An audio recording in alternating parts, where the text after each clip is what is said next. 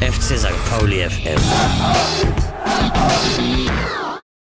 Es ist der zweite Advent hier bei FC St. Pauli FM und wir sind heute an der Kollausstraße und hinter mir trainieren die Jungs noch und wir werden uns gleich zwei Spieler schnappen und ein lustiges Spiel zum zweiten Advent spielen.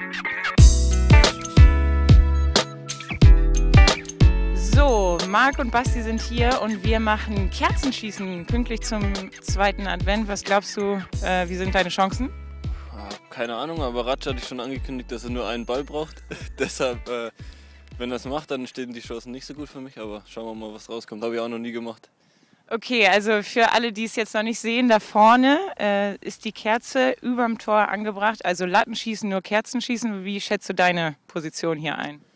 Ja, ähm, ich kenne den Basti ja, er hat einen super Schuss. Ähm, nee, aber ich traue mir zu, die Kerze zu treffen.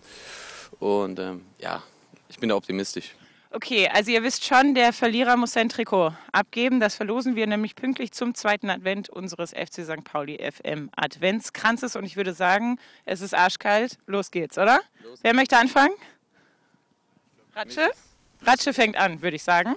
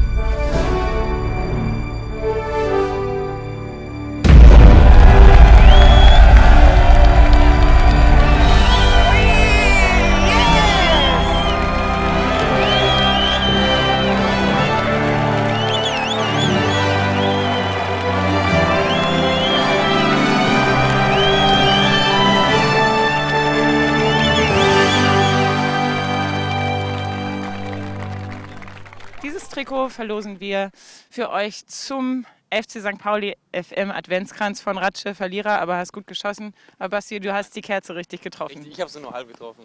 Jetzt wird hier auch noch schön signiert. Ja. Sehr gut. So, das Trikot ist unterschrieben, Kerzen schießen äh, zum zweiten Advent. Und jetzt fehlt eigentlich nur noch, dass äh, die, der Adventskranz angezündet wird. Dafür gebe ich dir das Feuerzeug, Basti. Der Sieger macht das Licht an. Ratsche, tut mir leid.